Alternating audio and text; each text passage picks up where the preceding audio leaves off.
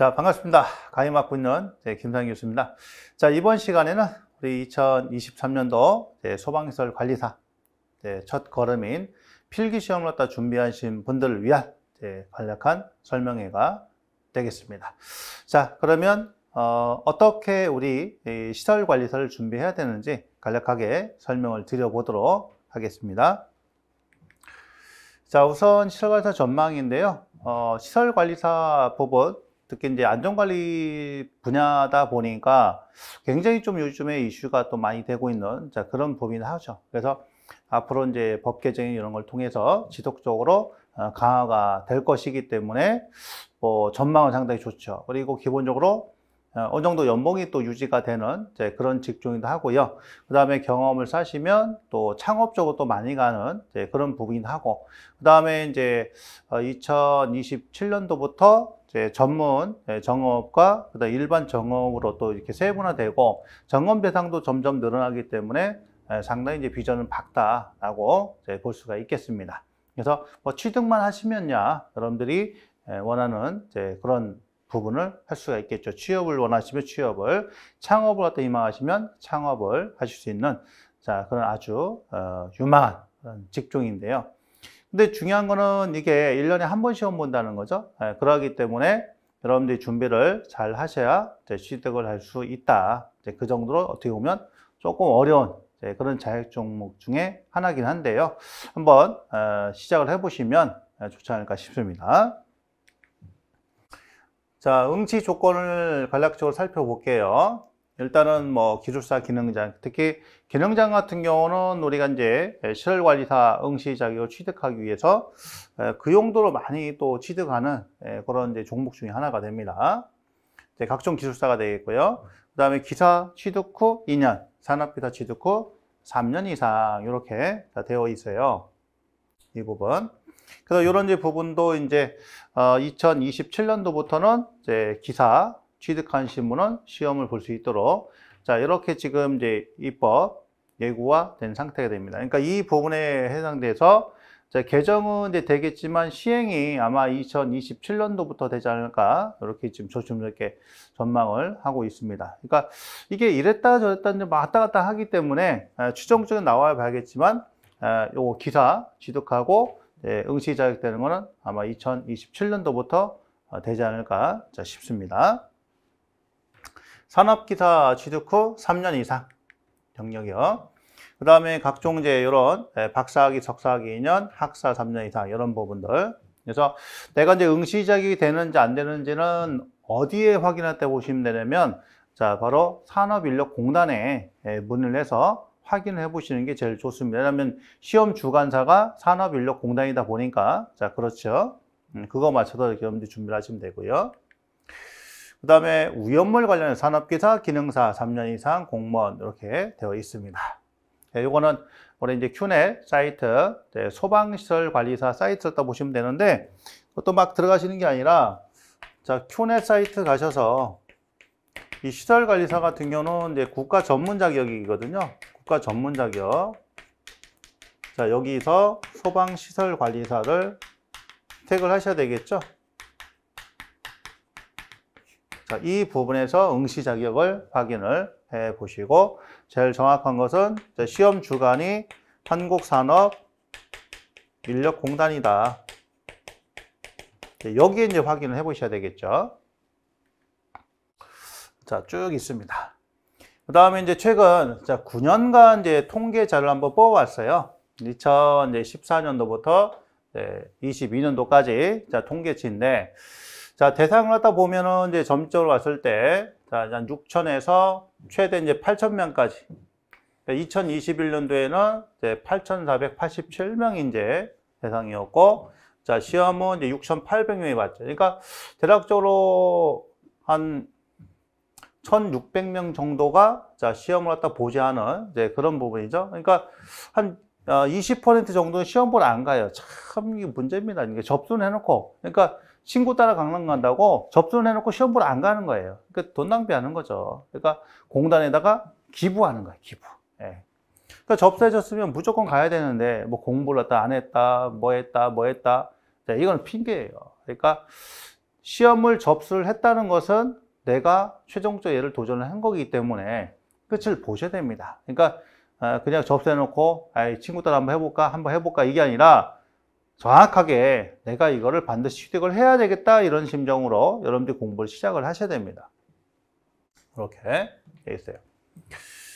자, 그래서 지금 이제 보게 되면 합격률 자체가 이제 최저치는 19%, 그 다음에 자, 최고치는 이제 53.8% 이렇게 되어 있었단 말이에요. 그러니까 어떤 부분 어, 합격률이 굉장히 높구나 이렇게 생각할 수 있는데 그게 아니고 여기는 1년에 한 번이기 때문에 전력을 다해서 공부하시는 분들이란 말이에요. 그래서 그럼에도 불구하고 합격률 자체가 자, 지금 보면은 22년도 같은 경우 40.8% 나왔단 말이에요. 이 얘기는 뭐냐면 이 얘기는 자, 공부를 하신 분 중에서 떨어진 분들이 있다는 거예요. 그러니까 열심히 했음에도 불구하고 떨어진다는 얘기죠. 이게. 그러니까 한번 해볼까 이게 아니라 기사처럼 이게 아니라 정말 열심히 해가지고 공부했는데 떨어진 분들이 어, 대략적으로 몇 퍼센트 떨어진다는 거예요. 59.2%가 불합격을 한다는 얘기예요. 그러니까 10명 시험 보면 6명이 떨어진다는 거예요. 이게. 네, 그 정도로 어, 좀 어려운 그런 시험이다 이렇게 생각하시면 됩니다. 그래서 자 이렇게 보면 응시율 자체가 아, 평균적으로 한 80% 정도 된다라고 보시면 됩니다. 그러니까 에, 응시 인원, 그러니까 지금 보면은 절 조금 봤던 게 3천 명인데 지금 이제 보통 평균적으로 5천 명이 넘어가죠. 그렇죠? 그렇게 응시 인원이 에, 상당히 많이 보고 있다는 거예요. 그 다음에 어, 올해 기준에서 22년도 과목별 채점 결과를 분석을 해보니까 이렇게 다섯 과목을 시험 본단 말이에요. 다섯 과목 시험 보는데 125분 동안 시험을 봅니다. 그러니까 125문제예요. 과목당 25문제씩 봅니다. 25문제. 25문항. 곱하기 아, 문항당 4점이 되는 거예요. 한 문항당 4점. 이렇게. 그래서 응시인원 대비해가지고 평균 점수 계산해 보니까 자 그래도 안전관리는 화재 역학이 좀 높다. 그러니까 67.87점 이렇게 나왔다는 얘기예요. 그러니까 기사 때 했던 소방 원론보다는 난이도가 깊숙이 들어갑니다. 어려워요. 특히 화재 역학 같은 경우는 이제 기술사 관련된 그런 내용들이 출제가 되기 때문에 좀 어렵습니다. 그래서 기사 공부할 때 원론 생각하시면 안 됩니다. 그거보다 조금 더 조금 더 자, 들어가는 거고요. 자, 과락률이 1.98% 이렇게 돼 있어요. 그러니까 이 과목은 과락이 안 나와. 참고로 과락의라는 것은 어, 10개 미만을 맞춘 거예요. 10개 미만. 그러니까 한 문항당 4점이니까 어, 10개 미만 맞춘 사람이 1.98%다. 이거 진짜 공부 안 하신 거죠. 뭐 그냥 간 거예요. 그냥 가신 겁니다. 예. 그 다음에 수리약, 약제, 소방 전기 해서 평균 점수가 55.7이니까 55.7이 과락률이 12.15%. 자, 그렇게 되고요. 소방 관련 법령이 이제 53.77%. 과락률은 15.12%. 우연물 성상 시설 기준이 51.2. 그 다음에 24.65. 소방시설의 구조 원리가 52.61, 22.65 이렇게 됩니다. 자, 그럼 과락률이 제일 높은 게 요거죠? 우연물. 그 다음에 소방시설 구조 원리 두 번째가 되고요. 자, 그리고 법령이 세 번째고 수리 약세가 네 번째고 그 다음에 안전관론이 다섯 번째가 이렇게 됩니다.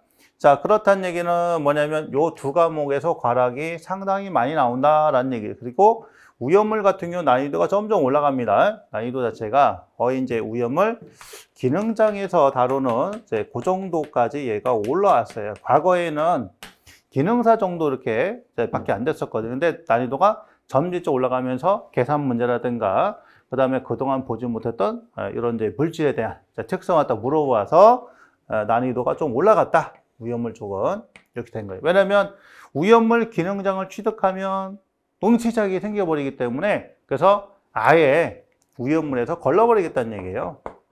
이렇게 돼 있습니다. 물론 나중에 이제 2027년도 가면은 이제 우연물 과목은 없어지고요. 과목이 이제 4개로 바뀌겠지만 아직 한참 뒤입니다. 한참 뒤니까 일단은 여기에 맞춰서 준비하시면 되겠고 소방시설 구조 원리 같은 경우는 요게 이제 NFTC예요. 그러니까 화재 안전 기술 기준에 관련된 겁니다. 자, 이것도 이제 12월 1일자로 바뀌죠? 그동안에는 NFSC, 그죠?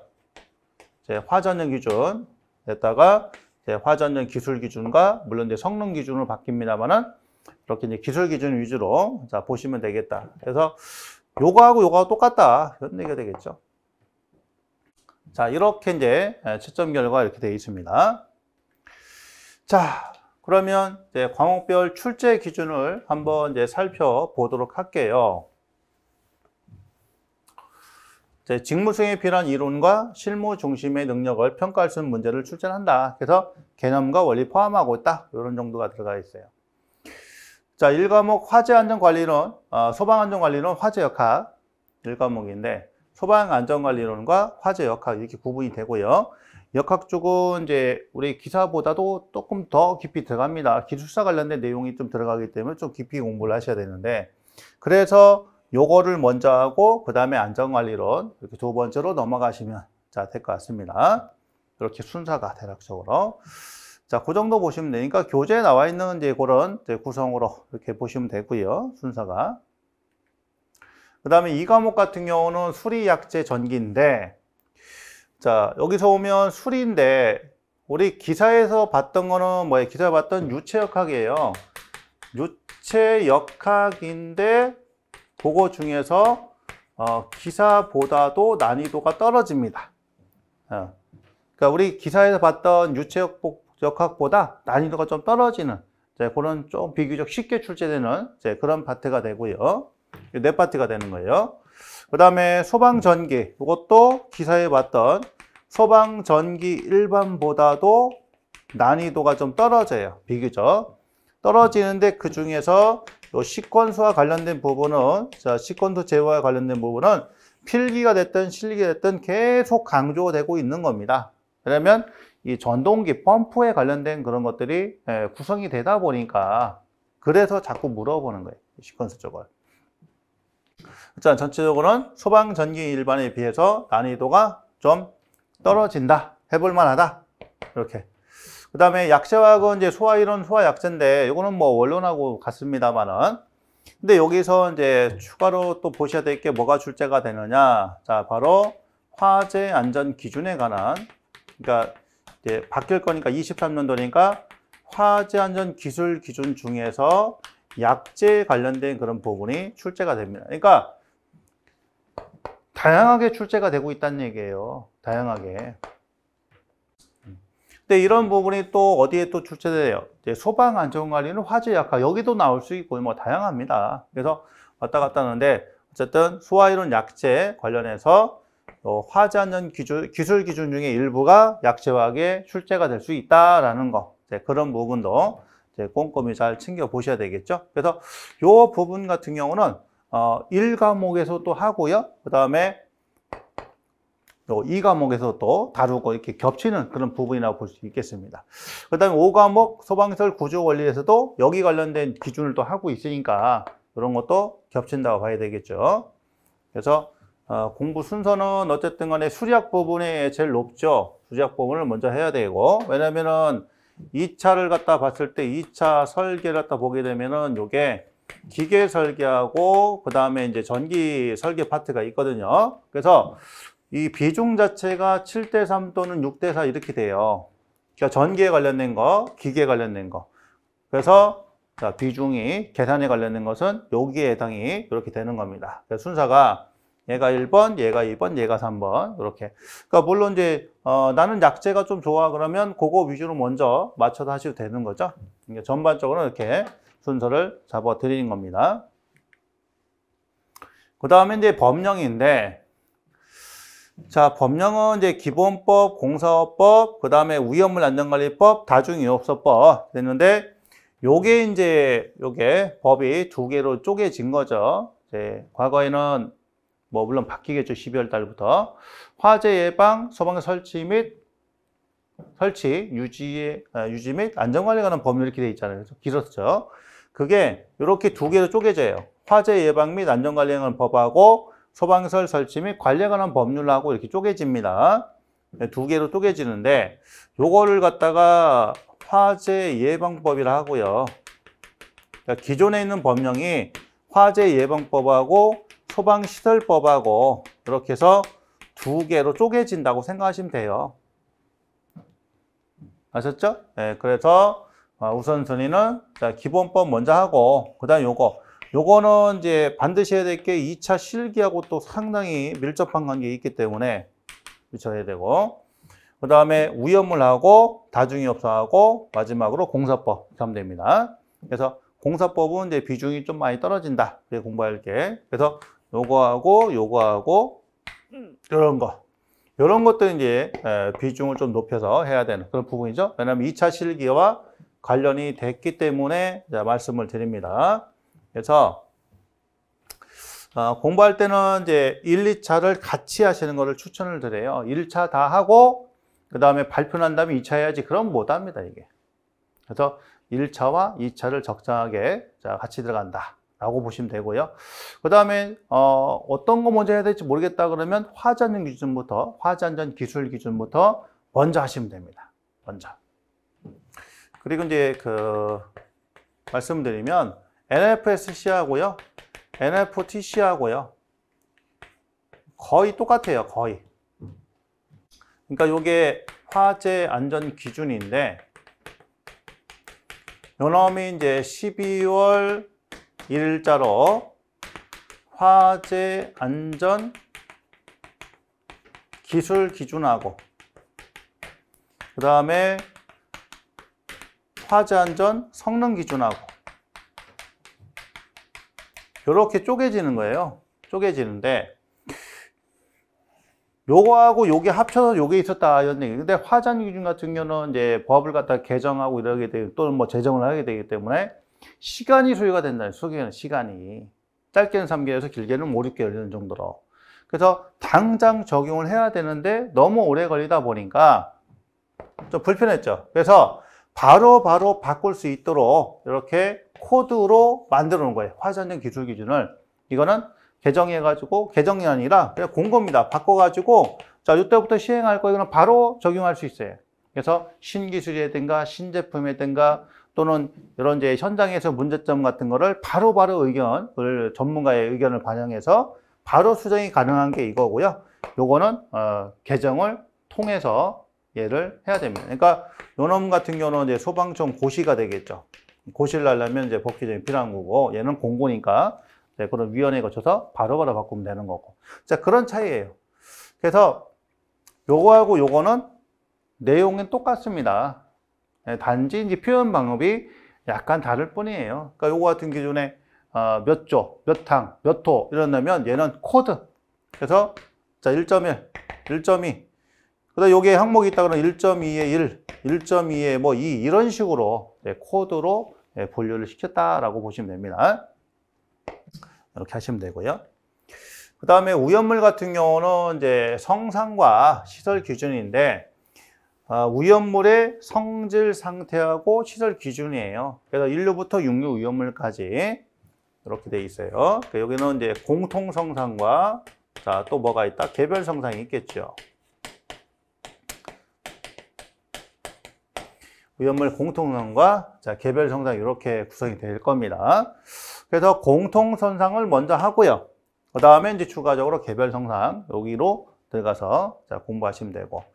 그 다음에 위험물 시설 기준. 자, 이건 일종의 이제 법에 관련된 그런 부분이다 보니까 이런 것도 어, 해놓으시면 어렵지 않게 할 수가 있습니다. 그래서 자, 이 시설 기준 같은 경우는 공부하면 맞출 수 있는 거고요. 그 다음에 요 성상 같은 경우는 공부를 했어도 어, 내가 이제 전혀 예상치 못했던 그런 이제 물질이 나와버리면 틀릴 수 있는 자 그런 부분이다 보니까 자 이것도 자 뭐해서 공통선상은 반드시 하고 개별 성상 같은 경우는 이제 그동안에 많이 나왔던 그런 위험물에 대해서 집중 하시면 뭐 다 25개를 맞추려고 공부하시면 좀 어려워요. 그래서 어느 정도 선택적으로 이렇게 공부를 한다고 보면 순서는 이렇게 된다. 1번, 2번이고 성상은 공통하고 개별이 있는데 공통을 반드시 하고 개별은 선택해서 하면 된다. 자, 이렇게 말씀드립니다. 그 다음에 구조 원리. 자, 구조 원리는 이제 고장 진단 정비 포함이니까 일종의 이제 뭐라고 보시면 돼요? 화재 안전 기술 기준이라고 보시면 됩니다. 네, 거기서 대다수 차지하는 게그 내용이에요. 네, 기술 기준. 그 다음에 그러니까 소화 설비에 해당되는 거, 경보 설비에 해당되는 거, 음, 피난 구조 설비, 소활동 설비. 자, 이렇게 되어 있고, 그 다음에 여기서 이제 컨트롤 다 보게 되면 이제 소화 용수 설비는 이제 뺐는데 뭐 그- 물론 그것도 있겠죠. 그래서 순서가 경보 설비가 1번이고요. 경보 설비가 첫 번째고 그 다음에 두 번째는 어떤 걸 하셔야 되느냐 두 번째 피난 구조 설비고요. 세 번째가 소활동 설비고 그 다음에 마지막 네 번째가 소화 설비다. 이렇게 순서를 잡아서 경보 설비가 비교적 쉽지만 공부하기가 금방 끝나는 거예요. 그 중에서 자동화재 탐지 설비는 이제 외워야 될 내용이 또 상당히 많습니다. 그리고 요거는 실기에도 굉장히 출제가 자주 되는 그런 파트죠. 자동화재 탐지 설비 비중이 높은 자, 그런 부분이니까 이렇게 돼 있어요. 물론 여기서 이제 빠진 게 고체 열어줄도 있고, 그렇죠? 이제 고체 로절 이런 것도 자, 우리 이제 소화 설비에 해당이 되겠습니다. 그런 거, 그러니까 여기서 이제 이렇게 나름대로 정리한 거 외에 에, 그런 것들은 추가적으로, 그러니까 여기서 나온 즉 화자년 기술 기준이라는 것은 다 정리하시면 돼요. 에, 그런 것들이 출제될 수 있는 거니까. 자, 이렇게 해서 정리하고요. 그럼 1차 시험 방법을 갖다 한번 살펴보겠습니다. 자, 이렇게 이제 다섯 과목을 시험 보는데 9시 30분부터 11시 35분까지 125문. 예, 예. 그러니까 한 문항당 1분이 걸려요. 1분. 한 문항당 1분. 그러다 보니까 지문이 또 깁니다. 그래서 한 문제 이렇게 쳐다보고 있다가는 뭐 2분, 3분, 4분, 5분 금방 가요. 그 나중에 30분 남았습니다. 그러면 한, 한 과목 풀이가 남았고, 예를 들어서. 그 다음에 요 OMR 카드 책 하나도 안 했어요. 그때부터는 마음이 바빠지는 거예요. 그러다 보니까 실수를 할 수밖에 없어요. 그래서 어떻게 하냐면, 이렇게 1, 2, 3, 4, 5다. 그 1, 2, 3, 4, 5다. 이렇게 됐을 때, 이 문제를 갖다 푸는 방법, 계산 문제가 있고, 얘가 이제 뭐가 있을 거 아니에요? 서술형 문제가 있을 거 아니에요? 그러면 서술형 문제를 먼저 싹 풉니다. 서술형 문제를. 계산 문제 다 빼버리고 서술 문제를 일단 풀어요. 풀어서 자 정답이다. 정답이다. 자 이거는 확실히 정답이야. 그거는 바로 OMR 카드에다가 기입을 하는 거예요. 정답이다. 바로 기입. 정답이다. 바로 기입. 쭉 비워놓고요. 자 쭉 넘어간 다음에 그 다음에 나중에 와서 자 계산 문제. 계산 문제는 뭐예요? 쉬운 거부터 딱 봐서 쉬운 거부터 또 자, 쉬운 문제 이렇게 또 하고 그 다음에 다시 이제 서술로 넘어가든지 해서 서술 넘어가가지고 안 풀었던 것도 해서 예, 헷갈리는 거 중에서 자 찍어가지고 넘기고 그 다음에 계산 문제 풀고 자 이렇게 하시면 됩니다. 그러니까 최종적으로 에라 모르겠다 이거는 마지막에 찍는다고 생각을 하시고 그 외에 정확한 거는 빨리빨리 해서 OMR 카드에 옮겨 놓으면 시간을 갖다 배분하기가 상당히 좋다는 얘기예요. 그러니까 1분입니다. 1분. 예, 그렇기 때문에 심지어 주변에서 어떤 분이 있냐면 한 과목을 그냥 통으로 찍었어요. 그냥 한 번으로 쭉. 왜? 시간이 없으니까. 자, 그러면 떨어지는 거죠. 그게. 얼마나 이제 답답해요. 아는 문제도 그냥 찍어버려서 틀리는 그런 일이 벌어지다 보니까. 이렇게 해서 이제 순서는 서술 문제를 먼저 풀고 그 다음에 마지막에 계산 문제 푼다. 복잡한 계산은 제일 마지막으로 밀어놓는다. 자, 딱 해다가 결과 안 나오면 찍는다. 그죠? 그럼 제출하십시오. 그럼 찍고 제출하는 거예요. 자, 그런 식으로 들어가야 됩니다. 그 다음에 이것도 순서대로 푸는 게 아니라, 어, 내가 이제 요 구조 원리가 자신 있어. 이거 먼저. 나는 우연물이 자신 있어. 이거 먼저. 어, 이거부터 먼저 풀래. 이거부터 먼저. 이거부터 먼저. 이거는 본인의 이제 그 취향에 따라 달라지는 겁니다. 그래서 어떤 과목부터 먼저 풀어도는 상관없는데 자, 그 대신에 반드시 서술 문제를 먼저 하고 계산 문제를 마지막에 푼다. 이렇게 생각하시면 됩니다. 자, 그래서 합격 결정 기준은 에, 매 과목 100점 만점. 그러니까 25문항이니까 한 문제당 4점이죠. 자, 매 과목 40점 이상. 그러니까 10개 이상 맞아요. 10문항. 전 과목 평균 60점이니까 자, 75문항 이상을 맞아야 돼요. 자, 125개 중에서 125문제 중에서 75개 이상을 맞으면 합격이 되는 거예요. 그 대신에 광업별 10개 이상은 맞아야 된다. 이 생각하시면 됩니다. 자, 그러면 이제 커리큘럼이 어떻게 될 거냐 이거예요. 커리큘럼이. 그래서 순서부터 보겠습니다. 구조원리, 그 다음에 수리약제, 우연물, 법령, 그 다음에 안전관리론 이런 순서. 물론 각 파트마다 단과도 다 되어 있어요. 되어 있고 그 다음에 통으로 할 수도 있고요. 그래서 순서는 대략 순서는 이러고 구조원리부터 먼저 하고 왜냐면 이게 화재안전 기술 기준이니까 자 그거 먼저 하고 그 다음에 수리학하고 우연물하고 법령하고 안전관리하고 이렇게 넘어가면 됩니다. 자, 그럼 이제 합격을 하는 3단계 학습법이라고 잡아놨는데 첫 번째는 기본 이론을 예, 공부를 하셔야 되고요. 두 번째는 이제 출제 예상 문제를 풉니다. 단원별. 그러니까 이론을 갖다 먼저 공부하시고 네, 그러고 나서 출제 문제를 풀어야 돼 예상 문제를. 그 다음에 기출 문제 풀이 됩니다. 그래서 이론 공부, 예상 문제 풀이, 그 다음에 기출 문제 이런 순서로 공부를 하셔야 되겠어요. 자, 그럼 이제 광업별 목표 점수하고 합격 전략을 한번 짜 보겠습니다. 안전관리는 역학은 이제 80점, 80점. 그러니까 25개 중에서 자, 20개 이상은 목표를 하셔야 됩니다. 충분히 여러분들 할 수 있고요. 그 다음에 다 맞출 수는 없어요. 왜냐하면 기술사에 관련된 그런 내용들이 출제가 된다고 그랬죠. 그러니까 못 봤던 게 나올 수가 있다. 그래서 한 다섯 개 정도는 틀릴 수 있지만 나머지 20개 정도 이상은 20개는 여러분들이 충분히 맞출 수 있는 네, 그 정도가 출제됩니다. 그러니까 자 연소, 생성물, 화재 예방 관리에서 폭발, 방폭, 화재 이론 위험물, 수학 여기 관련해서 16개, 18개. 그 다음 연소속도, 연기 생성 이동, 피난계획 수행 인원, 구획화재, 예, 화재 역학 관련해서 6개에서 8개. 안전관리 기준에서 법규 포함해요. 3개에서 4개. 22년 시험 기준에서 과락 5이다. 그러니까 과락이 안 나오는 과목이다. 거의 안 나오는데 여기서 과락 나오면 떨어진 거예요. 예, 볼 것도 없습니다. 그 다음에 수리약, 약제 전기, 목표 점수 80점 잡으시면 됩니다. 왜냐면은 이거는 어려워도 잡아야 되는 게 실기하고 직결되기 때문에 수리약 부분 잡으셔야 됩니다. 그러니까 수리약이 8개에서 9개 나오고요. 약제가 6개, 8개, 소방전기가 9개에서 11개 이렇게 자, 구성이 되어 있어요. 그래서 자, 요 전기 쪽이 좀 약하다 그러면 요것만 두 개만 해도 여러분들이 충분히 15개는 어, 맞출 수 있는 이제 그 정도가 되겠죠. 그죠? 두 개만 잘 해도. 요 과목에서.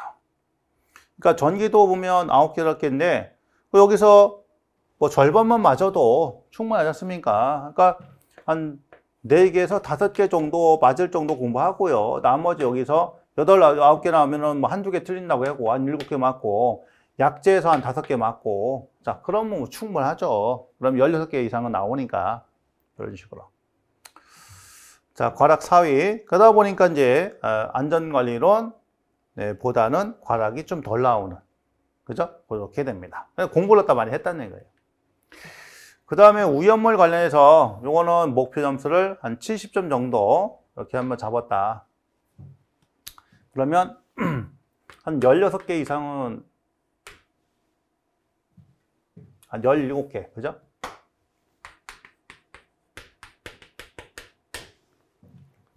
열일개 이상 또는 한 열다섯 개 이상만 맞아도 뭐 충분하죠. 우연물에서는. 열다섯 개 잡으면은 이제 목표 점수가 한 60점 정도 이렇게 잡으시면 예, 되겠죠. 근데 목표치가 또 너무 낮아버리면 또 50점, 40점 맞아버리니까 목표 점수는 좀 높게 잡으면 되는데 80점을 잡기는 또 얘가 여기다 또 시간을 또 너무 많이 투자할 필요는 없어요. 외물 쪽은. 왜냐면 이제 2차 실기에 또 안 나오는 그런 부분이고 그러다 보니까 그래서 한 60에서 70점 정도 네, 그 정도 목표해서 하시면 되지 않을까 싶습니다. 시설 기준이 11개 연락이 나오고요. 네, 그 다음에 성상 공통 기준이 7개, 9개, 개별 성상이 5개에서 7개 나와요. 그러니까 시설 기준을 반드시 잡고 네, 공통 기준 잡으면 15개는 맞출 수가 있다라는 얘기 되겠죠. 그래서 시설 기준, 공통 기준, 개별 기준. 자, 과락 1입니다. 과락 1이. 22년도 기준에서 위험물이 어, 레벨이 좀 올라갔다고 했어요. 기능장 관련된 위험물 기능장 관련된 문제가 다소 출제가 되고 있다라는 거죠. 네, 그렇기 때문에 또 그렇다고 해서 여기를 갖다가 집중적으로 깊게 공부할 시간이 없잖아요. 시간이. 그러니까 시간 관리예요. 그러니까 여기서는 한 60점 정도를 타켓 해놓고 그 다음에 내가 이제 그 구조 원리가 좀 약하다. 그럼 거기다 또 집중을 더 하는 거예요. 구조 원리가. 이제 구조 원리가 내가 좀 괜찮아. 그러면 여기다 점수 또 시간 더 투자해서 점수를 좀 음, 하는 자 그런 방법.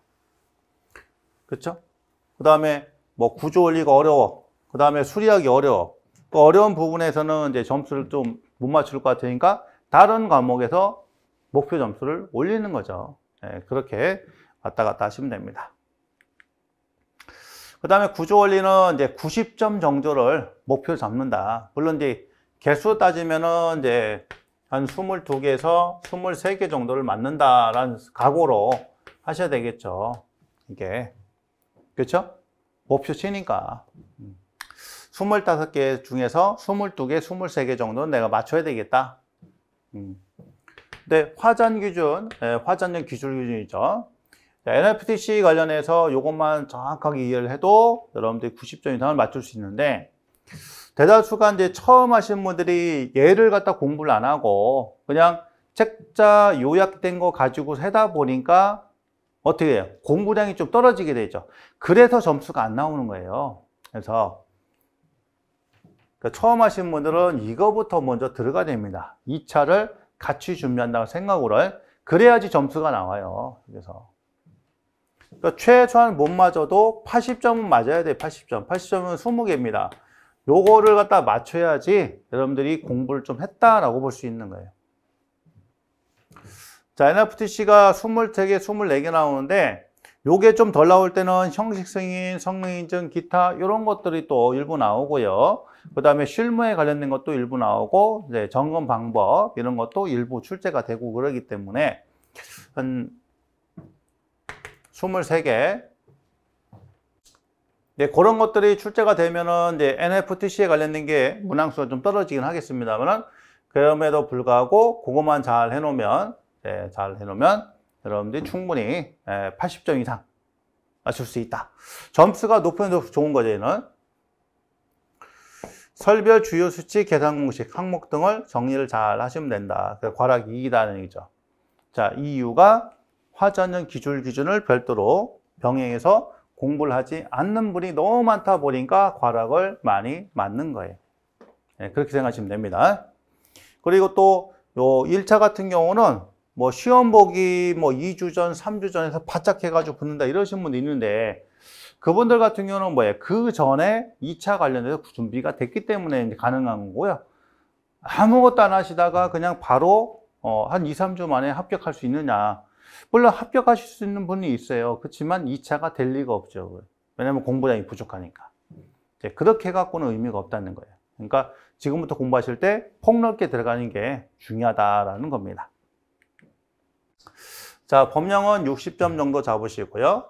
예, 60점. 기본법 4개, 시설법 예방법 한 10개, 공사법 2, 3개, 다중요소부 4개, 우위업물 관련돼서 8개 이렇게 되고 있으니까 2차 실기와 관련된 법규, 자, 기본법, 예방법, 소방시설법, 다중이업소법.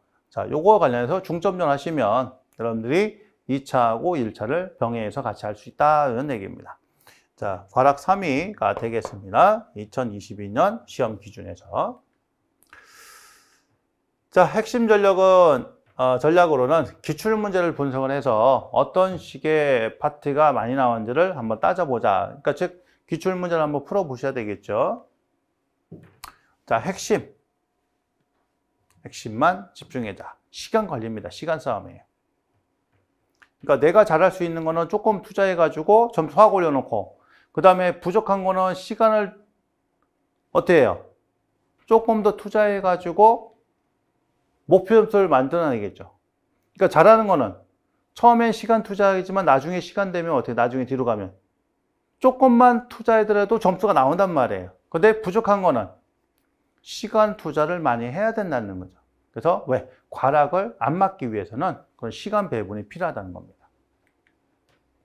이제 공부 순서가 이론, 요점 정리, 문제풀이, 서술형 문제에서 계산 문제 요 순서로 하시면 되는 거예요. 서술형도 쉬운 거, 어려운 거, 지문이 짧은 거, 길은 거 이렇게. 계산 문제 쉬운 거, 어려운 거는 버리자. 그러니까 복잡한 게 있단 말이에요. 복잡한 거. 이런 것들은 그냥 버리면 됩니다. 저 찍으면 되니까. 자, 오답 노트 만들자. 내가 어떤 부분에 실수하는지 이런 것들을 만들자. 매일 공부. 이거 상당히 어렵습니다. 매일 공부. 그래서 제가 자, 주 6일 공부를 하셔라. 왜냐하면 이게 사람이니까 기계가 아니란 말이에요. 하루는 쉬어야 돼요. 자, 1일은 휴식을 하자. 1일 휴식. 그러면 주 6일 공부하는데 자, 주당 최소 몇 시간 하셔야 되냐면 30시간 이상은 하셔야 돼요. 주당. 무조건 30시간 이상 해야 됩니다. 그래야 1, 2차를 딱 준비하시는 분들은 합격을 할 수가 있어요. 이 시간을 반드시 만들어내야 됩니다. 무슨 수를 쓰더라도. 그래야 돼요. 그래야. 난 하루에 2시간밖에 안 나오는데요. 2시간씩 해가지고 3년에서 합격을 할 겁니까? 5년에서 합격하면 합격을 할 수가 없어요. 이 시간 갖고는. 최소 5시간. 주당 30시간. 이거 만들어내셔야 됩니다. 자, 그래야 합격을 할 수 있다. 자, 그리고 자신감을 갖고 준비를 하시면 됩니다. 할 수 있다는 자신감이 중요하죠.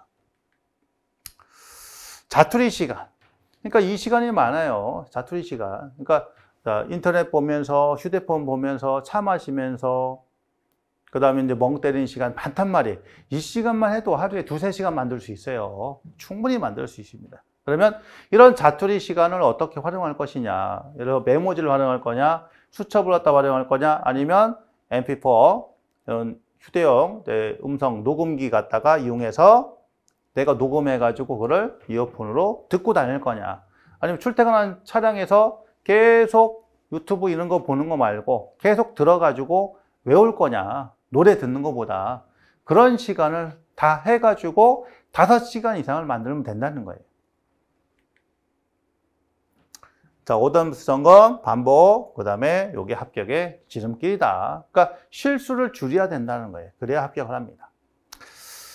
자, 이렇게 해서 어, 전반적인 이제 설명을 드렸습니다. 근데 이것저것 다 떠나서 가장 중요한 게 여러분들의 마음가짐이에요. 그러니까 내가 이 시설 관리사는 자격증을 왜 따야 되는지, 언제까지 딸 것인가, 이런 대략적인 일정을 잡으시고 여러분들이 최선의 노력을 다 하셔야 됩니다. 한번 해볼까가 아니에요. 한번 해볼까 하지 마세요.